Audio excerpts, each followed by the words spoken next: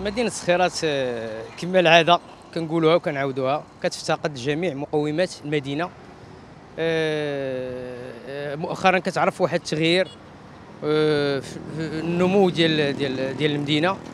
ولكن المشكل هو التنمية. التنمية شبه غائبة. مدينة خالية من مرا- من المرافق ال- ال- الاجتماعية من الحدائق متنفس لهذه الساكنة. اللي كتعاني منذ 30 سنة آه، معاناة مريرة مم، مشاكل متعددة.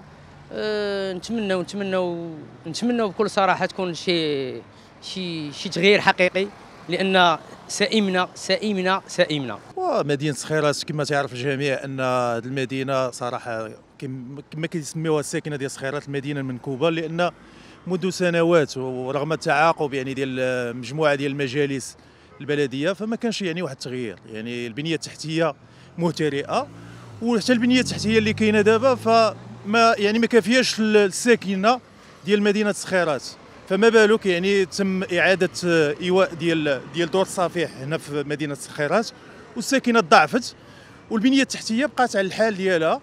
وتنظن أن كاين غياب ديال ديال ماشي تنظن هذا واقع. غياب ديال المرافق العمومية ديال البنيه التحتيه ديال الطرق.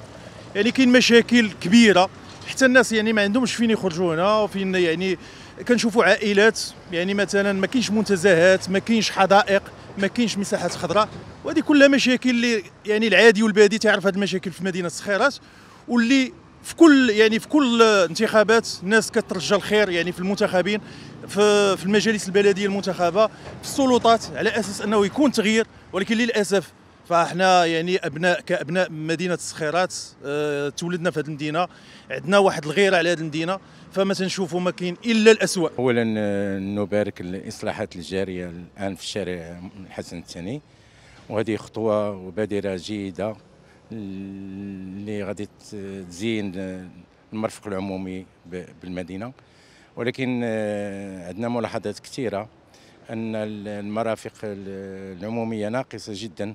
بخصوص الحدائق والمنتزهات آه، خاصة أن ال- الأسر آه، سخيرات آه، لا يجدون مكان للتنزه وللخروج مع أبنائهم إلى مثل هذه المرافق. ندعو الجهات المسؤولة إلى ال- آه، العمل على إيجاد هذه ال- المرافق خصوصا ونحن في هذه الأشغال الجارية. ننتهز الفرصة وندعو الجميع إلى ال- إيجاد حلول لهذه المعضلة لأنها معضلة آه، كبيرة في السخيرات.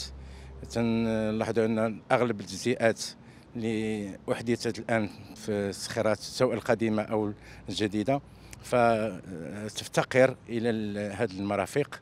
وتنعلموا جميعا بأنه كانت مساحات خضراء مخصصة ولكن تحولت إلى بنايات وتجزئات وكاين آه، تنعرفوا بأن المجلس السابق كان خصص واحد المساحة للمرافق آه، العمومية آه، والمساحات الخضراء وملاعب الأطفال. ولكن لحد الآن مازال ما بديناش ما لاحظناش انه راه كاين بادرة ولا كاين بوادر اللي غادي نقول بأن هذه المرافق راه غادي غادي يشرعوا في الإنجاز ديالها. لا تنسى الاشتراك في القناة وتفعيل زر الجرس ليصلك جديد الفيديوهات من هيسبريس.